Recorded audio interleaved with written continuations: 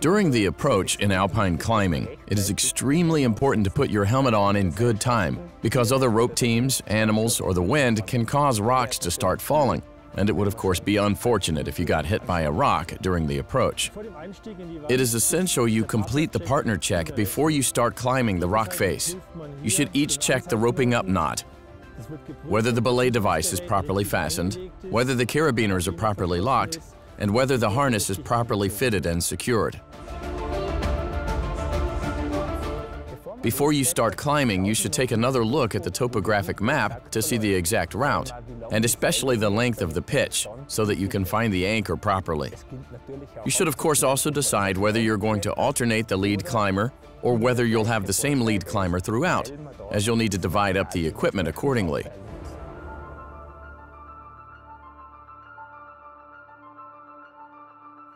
During alpine climbing, particularly on casual routes, I of course occasionally have climbing bolts that I can clip. However, they are often further apart than they would be in a climbing gym. If I'm clipping a protection point, I need to make sure of a few things.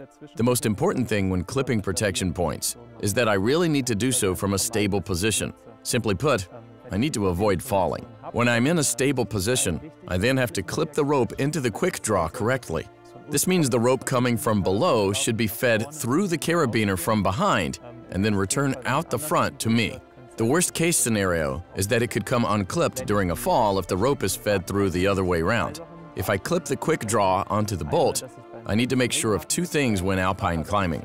Firstly, if it's a ring bolt, the quick draw's gate should face away from the rock face, and I should ensure that I clip the gate in the opposite direction to the direction I'm climbing in. For example, if I'm climbing to the right, the gate should point to the left. This prevents A, the quick draw from becoming unclipped in the bolt, and B, the gate from opening when bearing a load. And a handy piece of equipment while alpine climbing is an extendable quick draw. If a carabiner is lying in a bad position on an edge and gets bent under load, then I can take an extendable sling and prevent it from bending under load. Or, if the rope path is poor and causes a lot of rope friction, I can hereby reduce the rope friction and allow the rope to run more freely.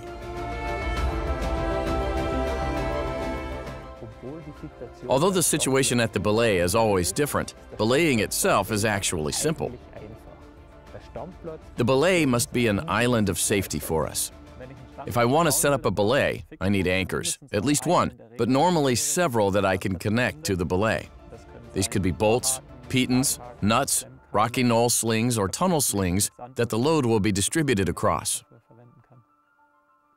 The belay itself should be redundant, meaning that if one of the anchors fails, at least one more will be there to prevent the fall.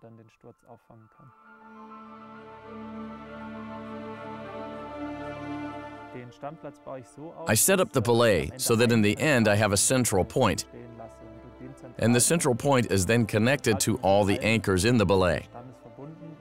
And that's the point to which I can clip on my personal anchor and my partner's anchors. There are two fundamentally different ways to set up a belay. One is the series connection, and the other is the distribution of load. I use the series connection if I have at least one solid anchor in the belay, something like a bolt. And I then do it so that the load is the bolt, and I set up the second as a series behind it. The second anchor is not put under any load, however. If I don't have a bolt at the belay and only have traditional climbing gear anchor points, I then set up a connected triangle of forces which guarantees a distribution of load across the different anchors. The belay is definitely one of the more complex topics in alpine climbing, but it is also the most important, as it's the central protection point for the entire climb. When I've mastered it, nothing can get in the way of a successful climb. An alpine climb doesn't finish when you reach the summit. It's not over until you're safely back on the ground, or even better, at home. And if the descent takes you over complex terrain, gravel fields, or rappelling slopes, you have to be particularly careful. Muss man besonders gut aufpassen.